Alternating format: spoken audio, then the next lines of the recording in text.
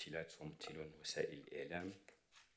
السيدات والسادة المسؤولات والمسؤولون بالوزارة. أيها الحضور الكريم أرحب بكم في هذه الندوة الصحفية التي تأتي بعد يوم من انطلاق الموسم الدراسي الجديد 2023-2024 والتي نعقدها من أجل تسليط الضوء على المعطيات والمستجدات الأساسية للدخول المدرسي وأشكر بداية سيد رئيس المؤسسة محمد السادس للنهوض بالأعمال الاجتماعية للتربية والتكوين على حسن الاستقبال وعلى توفير هذا الفضاء المتميز لاحتضان هذا اللقاء. وأشكر ممثلي المنابر الإعلامية المتواجدة معنا على حضورهم لتغطية أشغال هذه الندوة مستحضرا الدور المحوري الذي يمكن أن تلعبه وسائل الإعلام في مواكبة الإصلاح التربوي وتعزيز التعبئة المجتمعية حول هذا الورش المصيري لمستقبل بلادنا. أيها الحضور الكريم لقد التحق يوم أمس بمقاعد الدراسة ما يقارب 8 مليون تلميذة وتلميذ بالتعليم الابتدائي والإعدادي والتأهيلي في القطاعين العمومي والخصوصي. وأستغل هذه المناسبة لكي أتوجه للتلميذات والتلاميذ بخالص المتمنيات بمسار دراسي موفق وناجح. وحتى تنطلق الدراسة بشكل فعلي في الوقت المقرر لها فقد اتخذت الوزارة كل الترتيبات التحضيرية الضرورية لتوفير مستلزمات العرض المدرسي من بنية تحتية مدرسية وتجهيزات ودعم اجتماعي وموارد بشرية وتنظيم تربوي.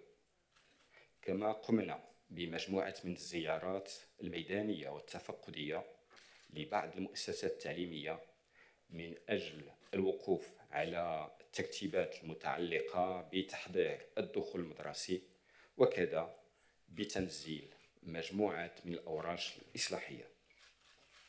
أيها الحضور الكريم إن السنة الدراسية الجديدة تأتي في سياق مواصلة تنفيذ التنفيذ الفعلي لتوجيهات الملكية السامية الداعية إلى إصلاح المدرسة المغربية والتي تم على أساسها وضع قانون الإطار المتعلق بمنظومة التربية والتكوين والبحث العلمي وتحديد أولويات برنامج العمل الحكومي في مجال التربية والتكوين وهي مرجعيات أساسية شكلت الإطار الاستراتيجي الموجه لأهداف خارطة الطريق لإصلاح التربوي 2022 2026 من أجل مدرسة عمومية ذات جودة للجميع بأهدافها الاستراتيجية الثلاثة المرتبطة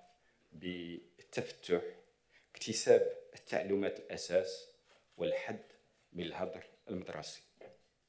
إننا نسعى إلى جعل السنة الدراسية الجديدة سنة مفصلية في تحقيق تحول المدرسة العمومية من أجل تلميذات وتلاميذ متفتحين وناجحين في مسير في مسيرهم في مسيرتهم الدراسية وفي حياتهم الاجتماعية والمهنية. وعلى هذا الأساس سيتم تنزيل مجموعة من المشاريع والتدابير المهيكلة. سأتطرق لتفاصيلها الأساسية خلال العرض الذي سأقدمه بعد قليل وهي مستجدات تم التأسيس لها منهجيا وإجرائيا خلال الموسمين الدراسيين المنصرمين وفق مقاربة البناء المشترك كما كما تم تجريب مجموعة من المشاريع والتدابير المستجدة وتكوين الفاعلين التربويين حولها وتوفير مستلزماتها المادية واللوجستيكية. وسيتم العمل على تنزيل هذه الأوراش الإصلاحية وفق حكامة ناجعة تقوم في مقاربتها المنهجية على إحداث التغيير من قلب الفصول الدراسية وعلى التجريب قبل التعميم وكذا التقييم المنتظم من أجل التقويم الناجع بما يكفل بلوغ الأهداف المسطرة وتحقيق الأثر المنتظر.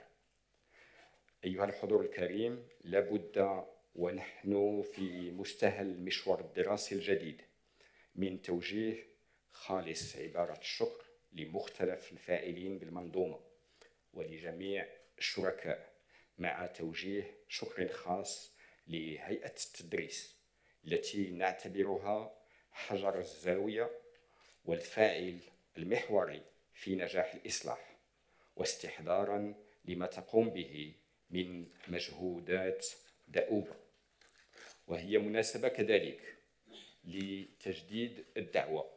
إلى جميع الفاعلين والشركاء من أجل الانخراط القوي في مسار التحول الذي تفتحه السنة الدراسية الجديدة حتى نتمكن بتضافر جهودنا جميعا من إحداث التحول النوعي المنشود للمدرسة العمومية لكي تقوم بدورها في التأهيل العلمي والمعرفي وتنمية رأس مال البشري وتحقيق الاندماج الاقتصادي والاجتماعي والثقافي في ظل القيادة الرشيدة لصاحب الجلالة الملك محمد السادس حفظه الله ونصره.